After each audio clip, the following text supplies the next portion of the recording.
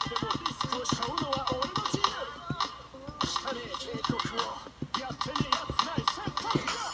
ハードダークは売らせねえぶっ飛ぶやつこれ以上食わせねえ死ねと間はこれ以上増やせねえずっと違って気持ちが砕けねえ音を毎回いればな何度もうことだってあるけどそっちの分まで。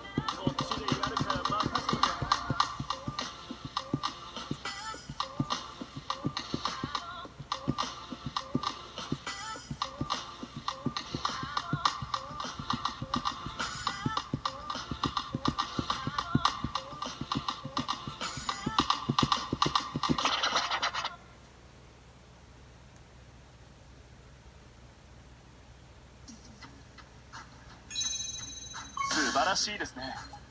文句なしですよ。